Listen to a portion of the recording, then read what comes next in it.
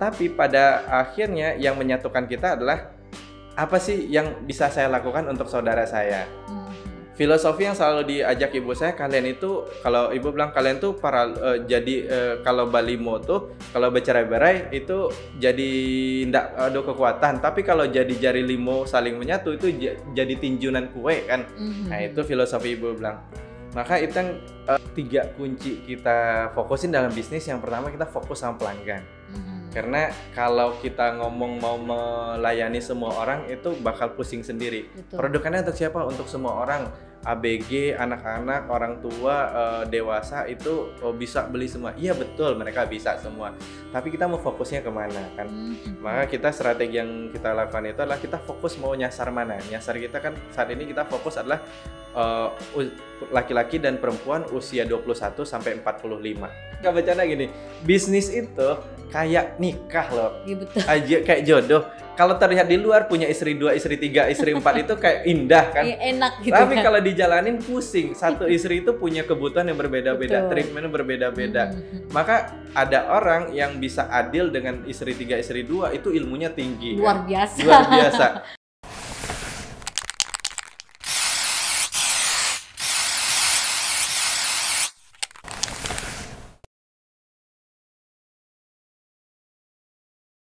Assalamualaikum warahmatullahi wabarakatuh. Kembali lagi kita dalam podcast Ngopi Ngobrol Inovasi.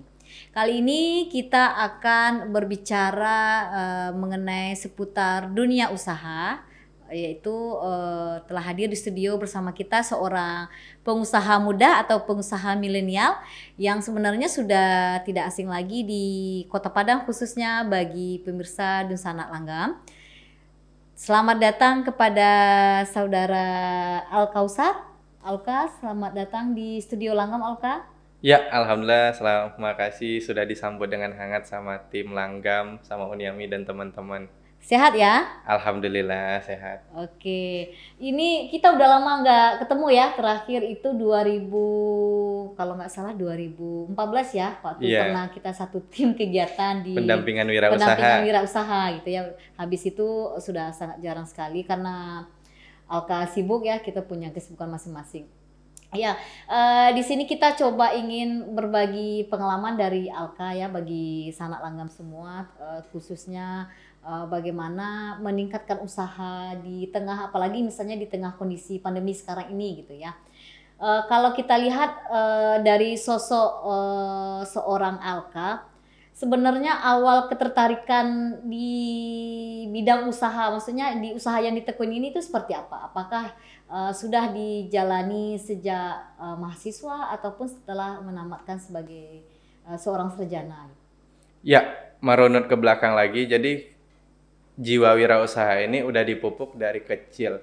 Karena kita eh, saya bersaudara, saya dengan kakak-kakak saya itu kan lahir dari keluarga pedagang papa yang merantau ke Bandung mulai dari nol jualan kaki lima sampai dengan tahun 94 eh, berjualan di Bandung dan ngalamin pasang surut dan totalnya puncaknya di 94 beliau eh, give up bendera putih karena faktor pengelolaan keuangan artinya akhirnya bangkrut pulang kampung kan. Eh, 94 itu ada sekitar 3-4 tahun lah eh, saya sendiri kan ngelihat gimana sih berjualan di Bandung akhirnya kita mulai lagi 95 itu sebagai keluarga petani.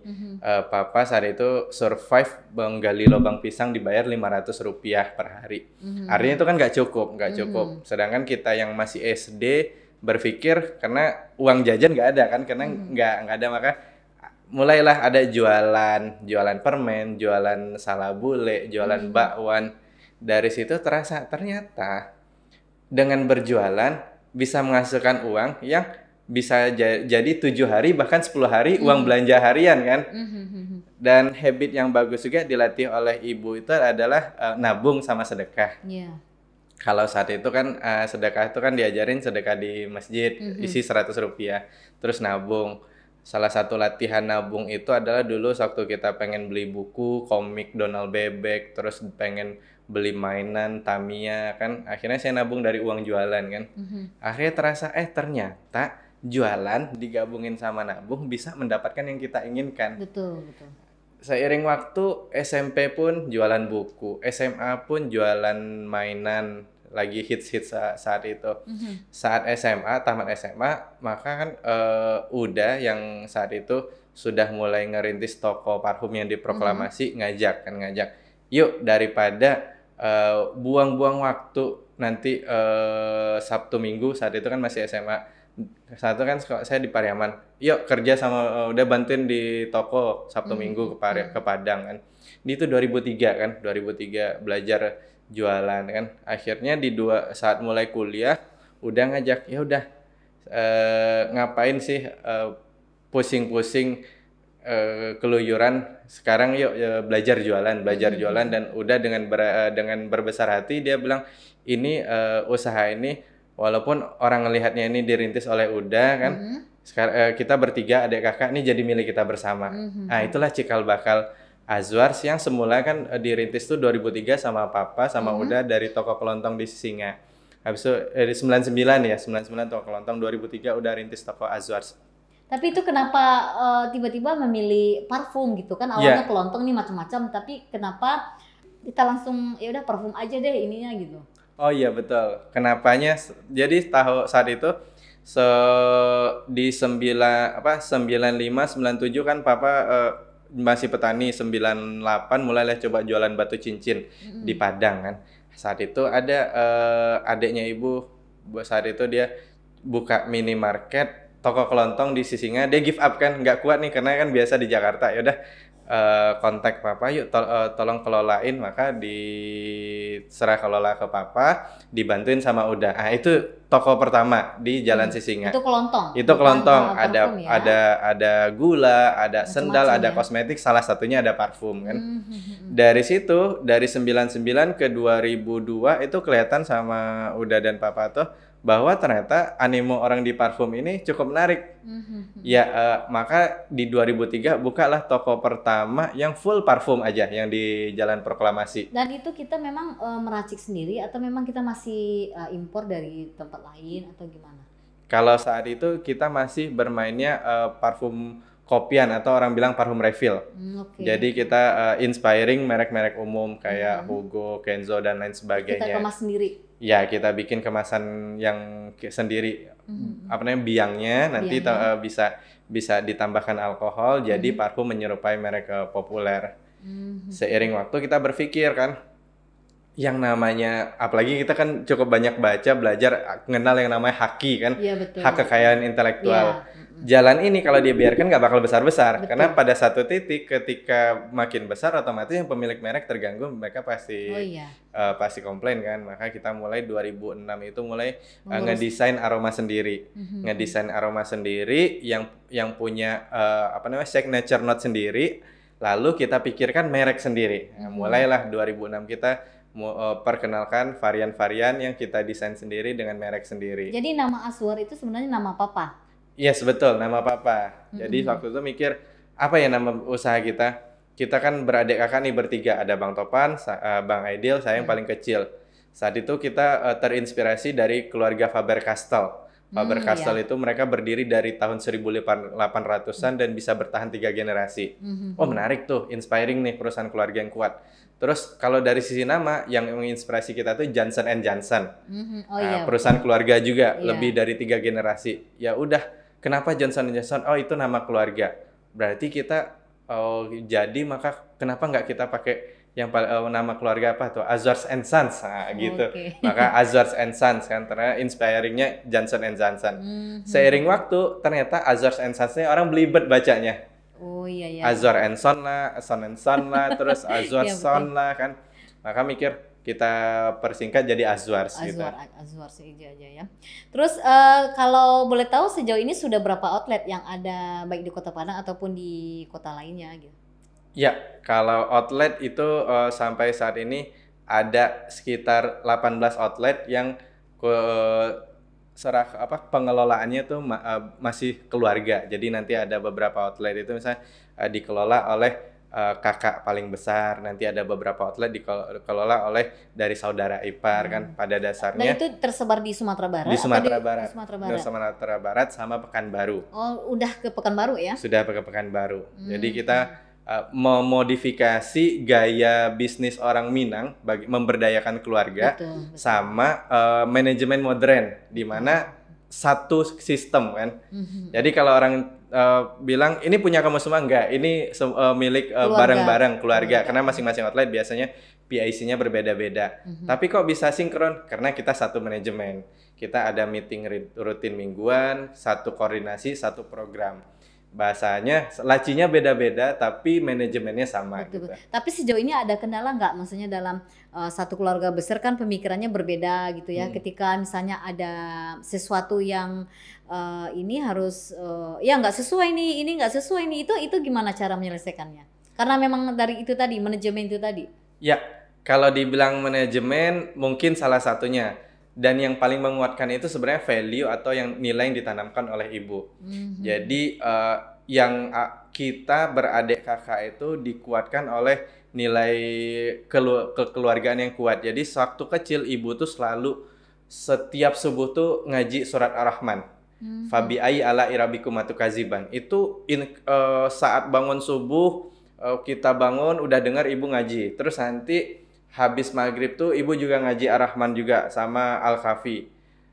Kalau dulu itu kita mendengarkan itu hanya sebuah eh, pengajian saja, Mhm. eh, bacaan Al-Quran. Iya. Uh, sekarang ketika kami ngobrol sama pakar neuroscience, dia penasaran.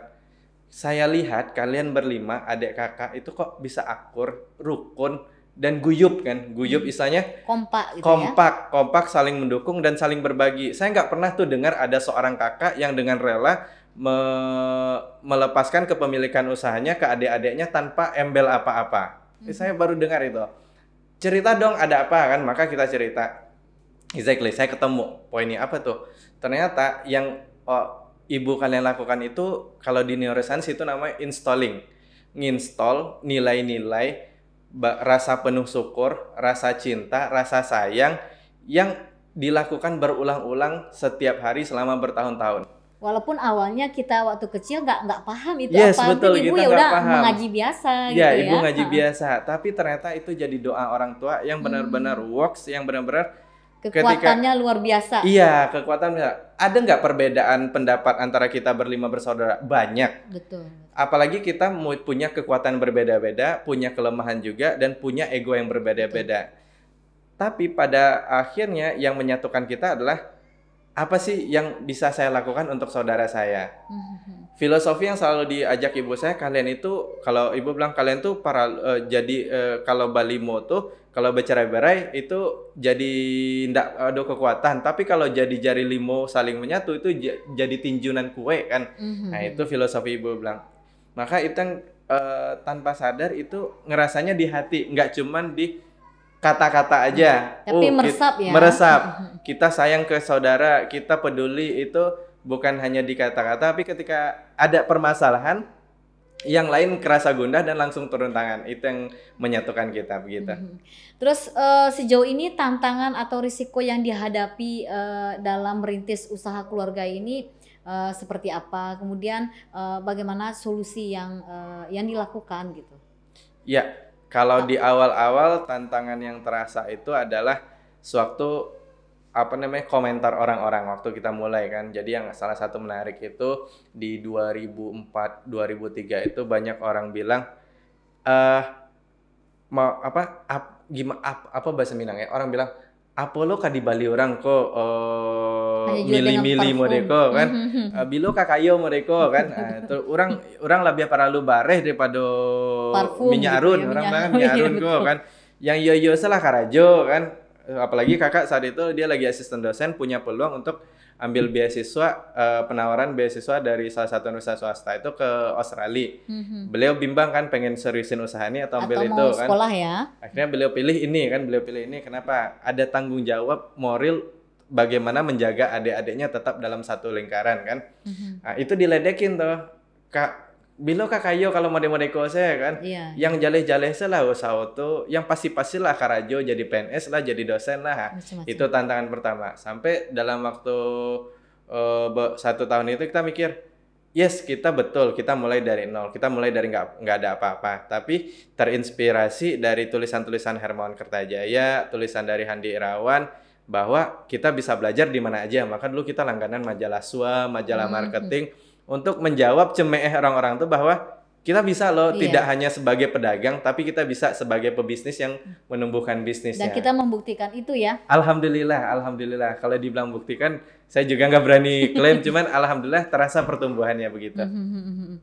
Terus kalau eh, bagaimana mempertahankan produk kita itu memang agar eh, selalu bisa diterima di sama konsumen gitu. Jadi mm, apa yang menjadi ciri khas? Ya, salah satu kekuatan kita yang selalu kita bangun itu adalah bagaimana kedekatan dengan pelanggan. Jadi eh, kita selalu ngajak adik-adik di tim pelaksana, tim-tim depan, di store crew. Kami dulu mulai bisnis ini bagaimana membangun membangun kedekatan pelanggan itu seperti sahabat sendiri.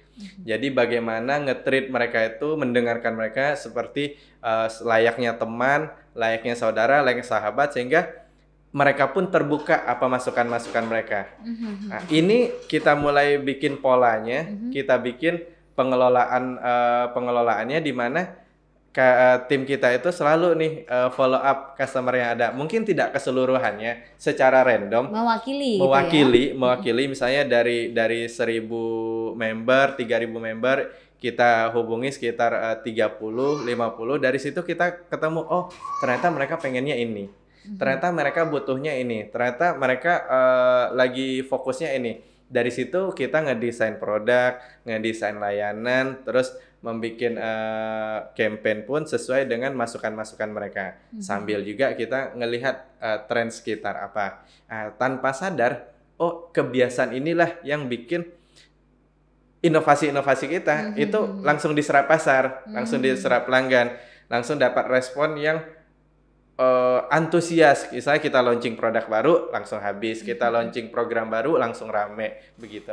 Sebenarnya ba- bagaimana misalnya kita me- eh, merawat konsumen, menjaga menjaga mereka memang eh, layaknya bukan hanya sebagai oh mereka beli produk ya udah habis selesai, tapi bukan sejauh maksudnya harus di ini terus ya, maksudnya oh, komunikasi itu harus dibangun terus ya ini ya. Apalagi misalnya eh, Azwar juga punya member gitu ya, iya betul. Member. Dan kalau boleh tahu membernya se- sekarang sudah eh, sudah berapa ini? Sudah kalau data terbaru saya belum update, cuman terakhir di 2020 tuh update itu udah di atas 20.000 ribu, Hmm, di atas 20.000 ribu. Oh kalau kalau nggak salah itu masih terus bertambah. hmm, hmm. Jadi salah satu yang sel- eh, selalu kita ajak ke teman-teman yang maintain pelanggan tuh, yuk teman-teman bayangin yang datang ke toko kita ini eh, adalah sahabat kita yang akan jadi sahabat selamanya. Betul. Jadi bahasanya kalau bahasa di manajemen kita bang long life customer. Mhm. Maksud long life customer apa bang kan? Long life customer tuh pilihannya cuma dua. Kalau nggak kita mati duluan, kalau nggak dia mati duluan. Jadi segitulah di- kita bakal berinteraksi Iya, dengan betul, dia. betul. Dan kita nggak hanya ngomong parfum loh. Ke depannya bisa jadi nanti kita bakal eh, bantu mereka dalam hal yang lain. Hmm. Apakah itu masih terkait bisnis atau terkait hal Mata- lain? mana tahu banyak banyak hubungan yang bisa dilakukan ya setelah Iya, itu betul. ya karena memang selama ini kalau kita lihat ya uh, ya ya biasa maksudnya transaksi uh, jual beli di di mana pun ya udah habis putus putus setelah uh, ada transaksi ya udah nggak ada nggak ada urusan lain gitu ya tapi Iya. itulah yang membedakan uh, parfum Azwar dengan dengan produk-produk lain gitu ya Iya, kita mungkin tidak semua, cuma beberapa kita bangun bahkan kadang pe- apa yang bantuin kita tuh customer itu sendiri. Misalnya Hmm. kayak kita mau renovasi toko, biasanya itu malah dari customer juga. Ya, saya ada nih jasa nih, saya bantuin. Dia Hmm. kasih saran, bahkan dia kasih eh, rekomendasi-rekomendasi yang kita nggak nyangka out of the box lah bagi kita. Kalau kita karena rutinitas kan kita Mhm, pikir tuh biasa aja, tapi Iya, bagi betul. dia ada sisi yang lain. mhm. Nah, itu yang kita rasakan kedekatan dengan customer Betul. itu tidak hanya ngomong transaksional tapi Iya. kebangun hubungan emosional yang Betul. bikin mereka juga pengen kita tumbuh dan kita juga pengen mereka tumbuh. Betul, jadi sama-sama saling eh, saling menguntungkan kedua belah Iya. pihak gitu ya. Kemudian eh, bagaimana eh, strategi yang memang perlu dipersiapkan seorang Alka gitu ya membangun usaha itu seperti apa? Mulai dari mungkin manajemen sampai kepada eh, produk yang kita tampilkan gitu ya. Itu itu bagaimana nih strategi yang apa sih sebenarnya yang harus dilakukan ketika misalnya eh, Dusanak Langkam nanti juga melihat eh, Alka apa namanya membangun usaha ini apa sih yang mesti mereka persiapkan gitu? Ya, Kalau yang selalu saya ajak ke teman-teman itu di tim maupun yang teman-teman di komunitas, yang paling salah satu tiga kunci kita fokusin dalam bisnis yang pertama kita fokus sama pelanggan Mhm. karena kalau kita ngomong mau melayani semua orang itu bakal pusing sendiri Betul. produkannya untuk siapa untuk semua orang ABG anak-anak orang tua eh, dewasa itu oh, bisa beli semua iya betul mereka bisa semua tapi kita mau fokusnya ke mana kan Mhm. maka kita strategi yang kita lakukan itu adalah kita fokus mau nyasar mana. Nyasar kita kan saat ini kita fokus adalah eh, laki-laki dan perempuan usia 21 sampai 45. Fokus aja itu dulu. Karena itu pun kan kelompoknya ada banyak juga. Ada yang kelompok mahasiswa, ada kelompok yang Pelajar karyawan, gitu ya. iya eh, pelajar, ada yang kelompok karyawan swasta, ada karyawan BUMN, ada PNS, ada TNI Polri, ada guru, ada ibu rumah tangga, ada pensiunan juga. Hmm, Itu sendiri mereka kebutuhannya berbeda-beda. Maka di situ pun kami eh, zoom in lagi. Mayoritas ada di mana? Kalau saat ini kan mayoritas customer kami itu ada di kelompok karyawan swasta, BUMN dan eh, PNS kan. Mhm. Artinya mereka butuhnya apa? Itu yang strategi pertama. Ketika kita fokus sama pelanggan, kita tahu mau melayani siapa, dari situ kita bisa mapping. Mereka butuhnya apa? Mereka kebiasaannya apa? Mhm. mereka hobinya apa? Contoh sederhana di Instagram, teman-teman yang eh, karyawan swasta atau BUMN ini salah satu yang dia suka buka Instagram itu adalah selain hiburan, bagaimana mereka untuk penampilan kan? Betul. Karena mereka membangun karir mereka, mereka bagaimana bisa tampil percaya diri, bagaimana bisa tampil cantik, Looknya gitu ya. looks-nya bagus, looks-nya meyakinkan, terus Mhm. bagaimana mereka meningkatkan kemampuan diri Mhm. bahasa inilah yang nyambung kita ngobrol secara offline maupun online kan. Terus setelah itu yang kedua kita bangun itu adalah product value-nya. Product value kita ini solving problem mereka enggak.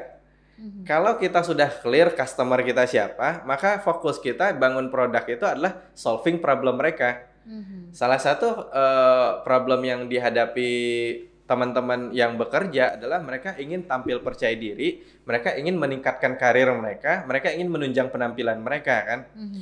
Maka yang kita tawarkan adalah kita punya produk yang dirancang khusus, yang eh, berbeda, yang tidak pasaran. Kenapa? Kita eh, formula sendiri, kita rancang sendiri sehingga Anda jadi diri Anda sendiri. Betul. Otomatis Anda menjadi diri Anda terbaik di tempat Anda bekerja. Mhm. Anda bisa menjadi yang berbeda, tidak pasaran. Orang nggak bisa tebak aroma Anda. Hmm. Otomatis ketika Anda bekerja, karir Anda pun akan terbantu Iya, karena. Anda percaya diri. Percaya diri. Ya. Anda merasa terbaik, Anda merasa unggul. Nah, Mhm. Itu solving the problem.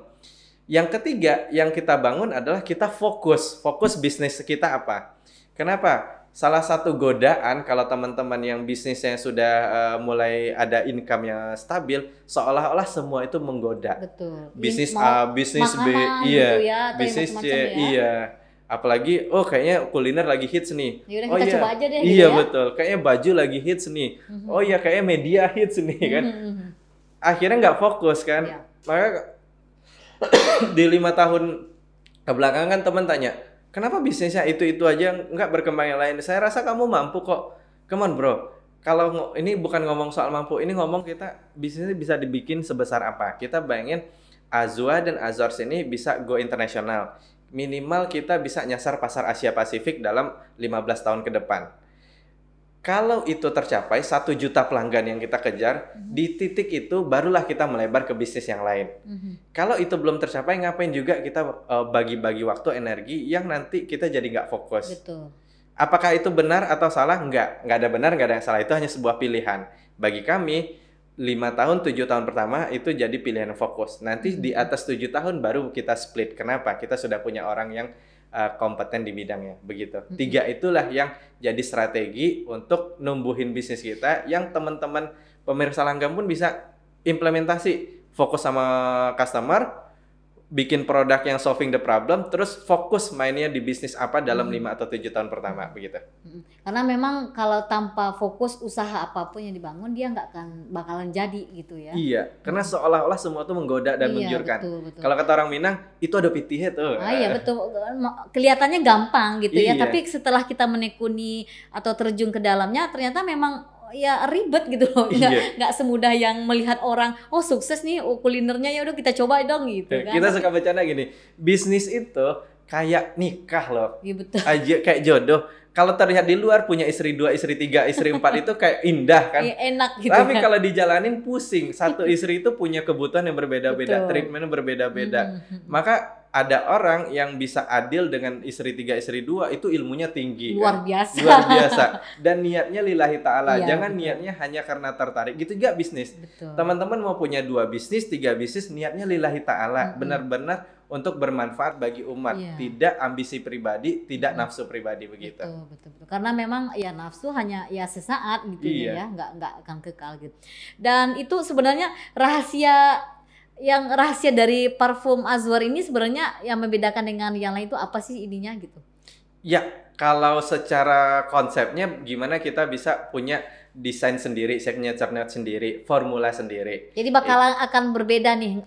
Pokoknya eh, baunya ciri khas itu nggak akan ditemukan di produk-produk lain gitu. Iya, kita terus fokus bagaimana uh, cari item-item uh, raw material raw material yang berbeda, yang punya long lastingnya bagus, yang punya uh, grade yang bagus, sehingga uh, solving problem teman-teman kita yang butuh ingin tampil lebih baik lagi. Itu secara konsepnya. Secara realnya adalah bagaimana kita bangun kedekatan dengan pelanggan. Mhm. Kenapa kita eh, ambil pilihan itu yang kita fokuskan? Karena salah satu eh, mayoritas yang diinginkan pelanggan itu adalah dia pengen berbeda, Iya. dia pengen tampil percaya diri, dia eh, pengen tampil unggul. Mhm. Maka pilihan kita adalah kita perlu eh, beda, bukan eh, sama dengan yang lain begitu. Kalau untuk bahannya itu eh, masih imporkah dari luar negeri atau memang itu produk eh, Indonesia asli yang kita racik sendiri atau gimana itu? Ya untuk raw materialnya mayoritas masih impor. Masih impor. Karena di parfum ini walaupun bahan dasarnya dari Indonesia, mereka kirim ke Eropa. Mhm. Di Eropa nanti gabung sama bahan lain jadi jadi bahan dasar parfum, dikirim lagi ke Indonesia. Mhm. Sampai saat ini belum ada tuh pabrik. Mungkin saya belum tahu ya, tapi saya belum ketemu tuh prinsipal yang menghasilkan langsung uh, raw material untuk uh, uh, parfum gitu. Berarti eh, di Azwar sendiri berarti biangnya itu yang diracik menjadi eh, aroma aroma aroma tertentu gitu ya? Iya betul sekali. Dan dengan eh, apa namanya nama atau rasa itu diciptakan sendiri gitu. Iya, jadi uh, aromanya kita rancang sendiri. Biasanya kan, dan kira-kira ini kalau uh, kayak kayak kita bermain warna lah, bermain warna. Betul, betul. Nah, itu, itu kan soal tentang tes, tentang eh, kita paham kebutuhan customer dan paham eh, seninya. Mhm. Ada yang ada yang gagal, ada yang berhasil kan. Mhm. Di awal-awal tuh lu aneh-aneh jadinya tuh, kayak nggak nggak masuk lah, nggak cocok Nggak- lah. nggak karuan. Enggak enggak karu-karuan kan. Kadang kalau orang bilang kan cuman gitu-gitu dong. Iya, silahkan coba gitu. Akhirnya sampai pada satu titik udah dapat polanya dan eh ini ternyata diterima pasar gitu. Mhm. Ya karena saya sendiri dulu waktu dulu eh, sering ketemu Alka coba gitu ya, walaupun misalnya bajunya dicuci, ya bau itu tetap ada gitu. Nah, Iya. jadi itu yang berbeda. Kadang kan memang produk-produk lain sekali semprot gitu ya, ya udah eh, agak 10 menit apa sejam paling lama udah habisnya hilang gitu kan wah ininya. Iya kita sama prinsipal bawel tuh. Pak kita standar eh, untuk raw material kan nih punya yang grade A, grade A plus itu kirim. Kalau kalau bapak kirim yang di bawah itu jangankan mau saya testing kan, saya buka aja enggak gitu kayak gitu kan. Ya karena Tuh. dari segi harga pun juga eh, apa namanya menjadi menjadi Pembeda. menjadi pembeda gitu ya. Hmm. Kita berani kita menjual misalnya dengan harga yang berbeda dengan yang lain karena dari itu tadi ya dari mutu yang dihasilkan Iya. itu ya. Makanya sa- salah satu yang sering kita lakukan adalah kita nggak ngomong kasih kasih gratis, habis itu dia datang yang kemarin minta dong gitu. Maka te- eh, strategi sampling free sampling itu masih terus dijalankan ka- karena eh, apa talk is do more kan. Mhm. Sambil kita campaign campaign terus dilakukan, tapi yang paling sering efektif itu adalah orang ngerasain kayak di makanan orang incip dulu terasa di lidah oh wajar lah ini kenapa ini harganya berbeda gitu. Mhm, mhm. Dan terakhir nih Alka, eh, tips dan triks nih eh, kepada pemirsa langgam gitu ya. Kira-kira eh, apa yang mesti kita lakukan untuk eh, usaha yang kita bangun ini bisa bertahan sampai sekarang, kemudian juga eh, melahirkan inovasi-inovasi dan dan bisa bersaing dengan produk-produk yang lain gitu. Untuk teman-teman pemirsa langgam yang sudah mulai usaha, Uh, kalau dari pengalaman kami, untuk tahap awal kita fokus survive dulu. Mm-hmm. Survive ga, gimana kita dapetin customer sebanyak-banyaknya sehingga biaya operasional kita nutup kan. Mm-hmm. Soal nanti kita nonton ngomong inovasi, soal tentang strategi itu ngomongin nanti. Tahap awal survive dulu. Mm-hmm. Ketika sudah survive biaya biaya operasional udah bagus, udah dapat pelanggan yang mapan, tetap, ya. tetap baru kita ngomong bagaimana ningkatin salesnya lagi, ningkatin penjualan kita pikirin berbagai macam cara. Da, ningkat penjualan baru kita ngomong profitnya. Profitnya. Ketika udah tiga step itu biasa kita nafasnya lega. Mm-hmm. Nafasnya lega baru kita ngomong nanti inovasi produk, baru kita ngomong nanti bagaimana mengembangkan orang, baru kita ngomong untuk nanti variasi produk baru. Ajakan saya untuk yang baru mulai tiga tahap itu jangan di, uh, jangan sampai tertinggal. Kenapa? Mm-hmm. Banyak orang, apalagi kadang dia pensiun dini nih langsung bikin uh, bisnis sistemnya langsung keren mm-hmm. tempatnya langsung keren itu ujung-ujungnya di bulan kedua tuh biaya langsung membengkak kan? apalagi dengan sistem yang franchise sekarang ya iya mm-hmm. kalau dia nggak nggak nggak fokus bagaimana survive tingkatin penjualan sama profit di bulan ke-12 itu udah tutup kontrak habis duit habis kan maka ajakan saya adalah tiga step pertama ini benar-benar difokusin gimana bisa survive, dapetin penjualan, bisa nutup, uh, nutupin biaya, mm -hmm. terus gimana bisa uh, ningkatin sales pada target tertentu, misalnya dapat 50 juta pertama per bulan atau 100 juta pertama per bulan. Yang ketiga, gimana bisa usaha ini untung.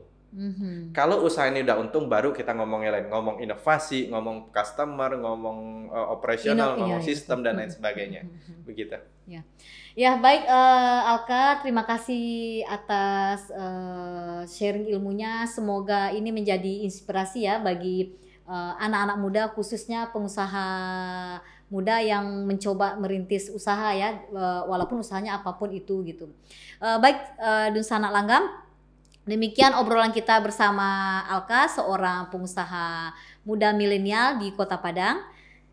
Jangan lupa like, subscribe, dan komen podcast langgam.id. Terima kasih. Assalamualaikum warahmatullahi wabarakatuh. Salam inovasi.